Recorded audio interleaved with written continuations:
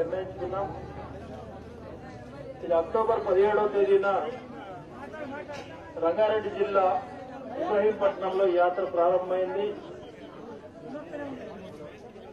Doctor BR Ambedkar గారి మనవడు ప్రకాష్ అంబేద్కర్ ఈ యాత్రను ప్రారంభానికి హాజరై ప్రారంభించారు.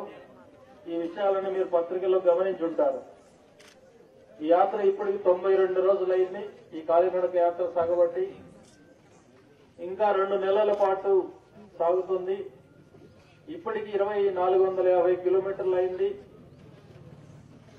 మిగతా పదిహేడు వందల కిలోమీటర్లు కూడా పూర్తి చేసి నాలుగు వేల కిలోమీటర్ల యాత్ర హైదరాబాద్కు చేరుకుంటుంది. నాలుగు వేల కిలోమీటర్ల యాత్ర అంటే చిన్న విషయం కాదు. ఇంతవరకు మన దేశంలో నాలుగు వేల కిలోమీటర్ల యాత్రలు చేసిన వాళ్ళు ఎవరూ లేరు. ఇంత పెద్ద యాత్ర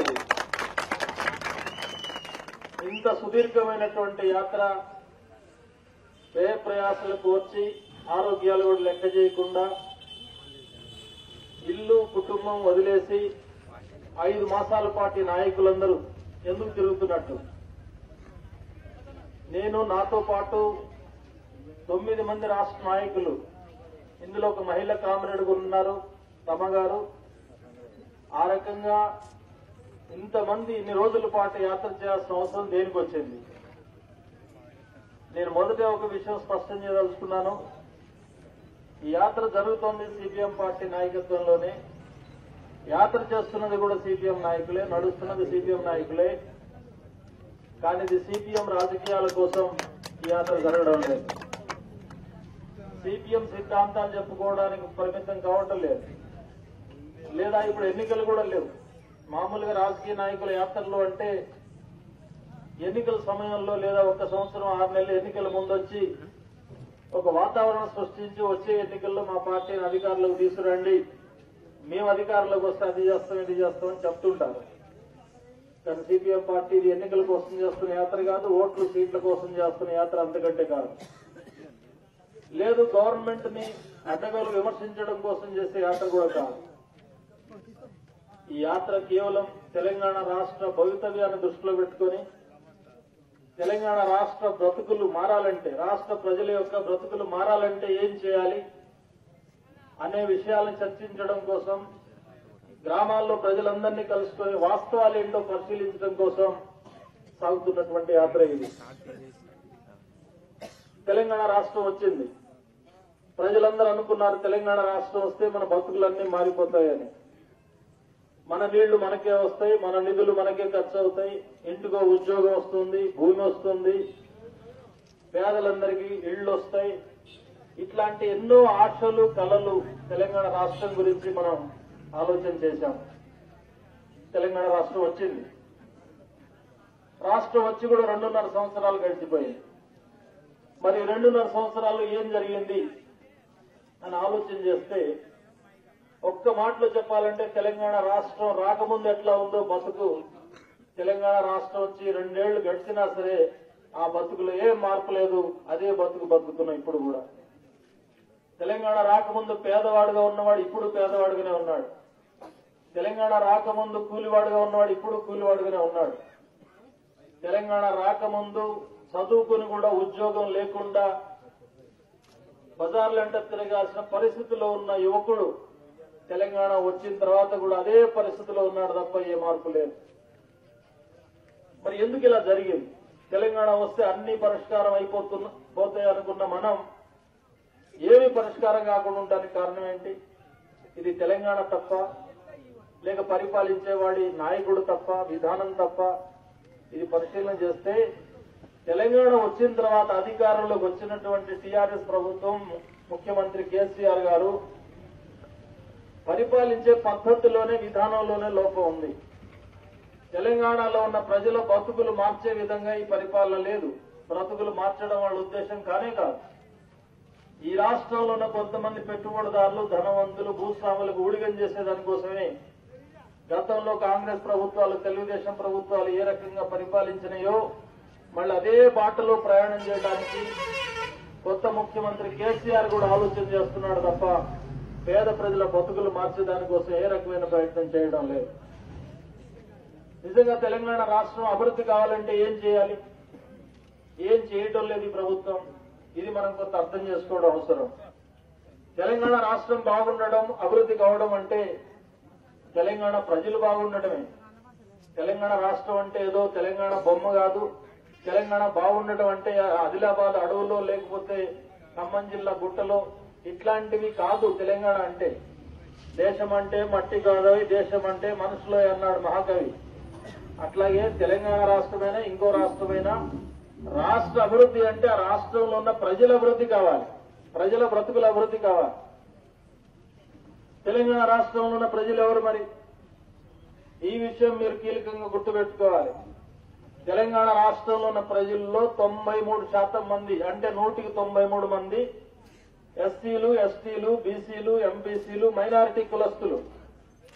అంటే మాల మాదిగ గౌడ గొల్ల యాదవ ముదిరాజ కమ్మరి కుమ్మరి ఒట్రంగి చాకలి మంగలి ఇలాంటి కులాలు అట్లాగే ముస్లింలు లంబాడీలు చెంచులు గోండులు ఇట్లాంటి ట్రైబల్ కులాలు ఈ కులాల వాళ్ళే నూటికి తొంభై మూడు శాతం ఉన్నారు తెలంగాణ రాష్ట్రంలో. ఈ కులాల బతుకులు బాగుపడకుండా తెలంగాణ ఎట్లా బాగుపడుతుంది? ఈ కులాల ప్రజలు అభివృద్ధి అయ్యే విధంగా చేయకుండా తెలంగాణ రాష్ట్రం ఎట్లా ముందుకు పోతుంది? ఇది మాత్రం కేసీఆర్ చేయడం లేదు. ఈ కులాల బతుకులు మారటం అంటే ఏంటి? ఆ బతుకులు ఎలా మారాలి? బతుకు మారటం అంటే ఒకటే. అంతకుముందు మూడు ముద్దలు అన్నం తిన్నవాడికి నాలుగో ముద్ద దొరకాలి. అది బతుకు బాగుపడటం అంటే. అంతకుముందు మూడు గజాలు పట్ట కట్టిన వాడికి నాలుగో గజం పట్టగొనే శక్తి రావాలి. అది బతుకు మారటం అంటే. అంతకుముందు పిల్లోడిని బడికి పంపించే శక్తి లేని వాడికి బడి బడికి పంపించే శక్తి కావాలి. అది బతుకుమారడం అంటే అంతకుముందు జ్వరం వస్తే సొట్టుగుమ్మ రాసుకొని ఇంట్లోనే మూలుగుతూ పడుకునే ముసలమ్మ కూడా జ్వరం వస్తే హాస్పిటల్కి పోయి డాక్టర్ చూపించి వైద్యం చేయించుకునే శక్తి రావాలి. ఈ ప్రాంతంలో కూడా దాదాపు నలభై ఏళ్ళుగా కాస్తులో ఉన్నారు. మూడు వేల ఐదు వందల ఎకరాల భూమి ఉంది ఇక్కడ.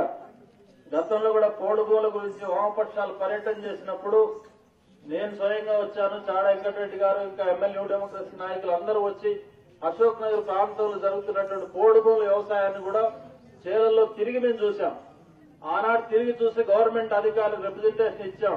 దీనికి పట్టాలు ఇవ్వాలి. వాస్తవంగా సాగు చేస్తున్నారు. ఆ సాగు భూముల్ని పంట మీద ఉన్న చేయాలని నిలువు మీద ఉన్న చేయాలని ఫారెస్ట్ వాళ్ళు ట్రాక్టర్లు పెట్టి దున్నిస్తున్నారు. దుర్మార్గంగా నాశనం చేస్తున్నారు అని చెప్పి కూడా గవర్నమెంట్ దగ్గర మొత్తుకున్నాం.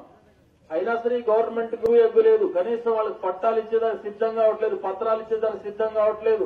ఇప్పటికి కూడా పోడుగోలు ఖాళీ చేయించాలి పట్టుదలతో కేసీఆర్ ఉన్నాడు. ఆయన మొన్న అసెంబ్లీలో నిండు అసెంబ్లీలో ఒక మాట అన్నాడు. అడవి మీద గిరిజనులకు హక్కు లేదు అన్నాడు. ఎంత దుర్మార్గమైన మాట అది. అడవి మీద గిరిజనులకు హక్కు లేదు ఎవరికి హక్కు ఉంటది? అడవి పుట్టినప్పుడు గిరిజనుడు పుట్టాడు గిరిజనుడు పుట్టినప్పుడు అడవి పుట్టింది. అసలు కేసీఆర్ పుట్టక మంది అడవి పుట్టింది గిరిజనుడు పుట్టాడు. ఇప్పుడు వచ్చి కేసీఆర్ ఇప్పుడు వచ్చి కేసీఆర్ అడవి మీద గిరిజనుడికి హక్కు లేదంటే ఆయన ఇష్టం ఏంటి? ఆయన ఆయన ఒక ఒక స్టేట్మెంట్ ఇస్తే అది వేదవాక్ అయిపోతుందా? అది చట్టం అయిపోతుందా? ఆయన చట్టానికి విరుద్ధంగా మాట్లాడుతున్నాడు. కేంద్ర పార్లమెంట్లో రెండు వేల ఆరులో ఒక చట్టం వచ్చింది. ఆ చట్టం ప్రకారం గిరిజనుడు రెండు వేల ఐదు కంటే ముందు సాగు చేస్తున్న ప్రతి గిరిజనుడికి అడవి మీద హక్కు ఉంది దానికి పట్టా ఇవ్వాలి. అంతకుముందే సాగు చేస్తున్నట్టు రుజువు కూడా గ్రామాల్లో ఏ లిఖిత ఆధారం లేకపోయినా సరే గ్రామాల్లో ప్రజల్ని ఎంక్వైరీ చేసి అతను సాగు చేస్తున్న మాట నిజమే అని చెప్పి ఎవరు స్టేట్మెంట్ ఇచ్చినా సరే ఆ మాట ఆధారంగా అతనికి పట్టా ఇవ్వాలని కూడా చట్టంలో ఉంది. అయినా సరే ఈ ప్రభుత్వం పట్టా ఇవ్వకుండా దుర్మార్గంగా పోలీసులు పంపించి ఫారెస్ట్ అధికారులను పంపించి ఖాళీ చేయించడానికి ప్రయత్నం చేస్తోంది. మేము హెచ్చరిక చేస్తున్న మహాజన పాదయాత్ర తరఫున. తెలంగాణ రాష్ట్రంలో ఒక్క ఎకరం కూడా ఖాళీ చేయాల్సిన అవసరం లేదు. ఫారెస్ట్ వాళ్ళు వచ్చినా పోలీసు వాళ్ళు వచ్చినా తిరగబడి తిరగబడి మన భూములు మనం సాగు చేసుకోవాలి తప్ప ఎక్కడ వెనక్కి తగ్గాల్సినటువంటి అవసరం లేదు. పౌర భూములకు ఓడు భూములకు గిరిజనులకు ఆ రకమైన హక్కు ఉంది. ఎవరు కాదంటారు లేదు చట్టంలో బలం ఉంది. ఇంకొక విషయం కూడా మనం దృష్టిలో పెట్టుకోవాలి. భూమి అనేది ఎవడైనా సరే దయాదాక్షిణ్యాలతో ఇచ్చినోడు ఎవడు లేడు ఇప్పుడు. భూమి మీద పోరాడకుండా కేసు వచ్చినా రక్తం దారబోసైనా సరే భూమిని దక్కించుకోవడానికి పోరాడాల్సిందే ఆ రకంగా భూమిని దక్కించుకోగలం మనం. ఆ రకమైనటువంటి పోరాటాలకు సిపిఎం పార్టీ ఎల్లప్పుడూ అండగా ఉంటుంది. మీరు చేసే పోరాటాలకు మీరు చేసే పోరాటాలకు ముందుండి పోరాడతాం. అవసరమైతే ఆ వచ్చే తుపాకీ తోట మమ్మల్ని బలిగొన్నా సరే భూమి మాత్రం వదిలిపెట్టే సమస్య లేదు. ఆ రకమైనటువంటి పోరాటాలు తెలంగాణ రాష్ట్ర వ్యాప్తంగా జరుగుతాయి. ఇప్పటికైనా కేసీఆర్ బుద్ధి తెచ్చుకొని గిరిజనుల పైన శత్రుత్వం మానుకోవాలి. అడవి మీద హక్కు గిరిజనులను ఒప్పుకోవాలి. అటవీ హక్కు పత్రాలు ఇవ్వాలి. చట్టాన్ని గౌరవించాలి. లేనట్లయితే అతనికి రాబోయే కాలంలో ప్రజలు తగిన పాఠం చెప్తారు బుద్ధి చెప్తారు గద్దె పెంచుతారని కూడా మనం హెచ్చరిక చేయాల్సిన అవసరం ఉందని మీ అందరికీ విజ్ఞప్తి చేస్తున్నాం. సమస్యల పైన గిరిజనుల పైన అన్యాయం జరుగుతోంది. గిరిజన ప్రాంతాల అభివృద్ధి కోసం ఐటీడీఏలు ఉన్నాయి. మైదాన ప్రాంతాల్లో ఐటీడీఏలు ఏర్పాటు చేయాలని చాలా కాలంగా అడుగుతున్నాం. ఆ పని జరగలేదు. అట్లాగే గిరిజన తండాలకు పంచాయతీలు చేయాలని అడిగాం. చేస్తా అన్నారు. ఇంతవరకు చేయట్లేదు. అదే రకంగా గిరిజనులకు ఉన్నటువంటి అటవీ ఉత్పత్తుల ధరలు నిర్ణయించడంలో వాళ్ళకి అన్యాయం జరుగుతోంది.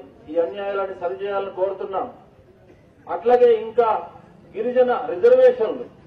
తెలంగాణ రాష్ట్రంలో ఆరు శాతం మాత్రమే గిరిజన రిజర్వేషన్ ఉంది. కానీ పెరిగిన జనాభా ప్రకారం పది శాతం రిజర్వేషన్ రావాలి. భాగస్వాములు కావాలి.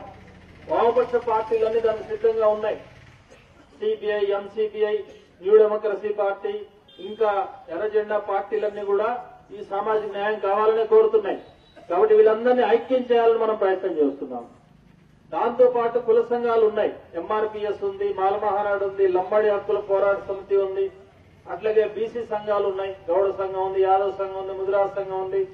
వీళ్ళందరూ ఉన్నారు. షాకలి మంగలి ఇట్లాంటి చిన్న బీసీ కులాలు కూడా సంఘాలు ఉన్నాయి. ఈ సంఘాలన్నింటినీ ఐక్యం చేయాలని మనం ప్రయత్నం చేస్తున్నాం. ఈ సామాజిక సంఘాలు కుల సంఘాలు మేధావులు రాజకీయ పార్టీల్లో ముఖ్యంగా ఎర్రజెండా పార్టీలు ఇవన్నీ కూడా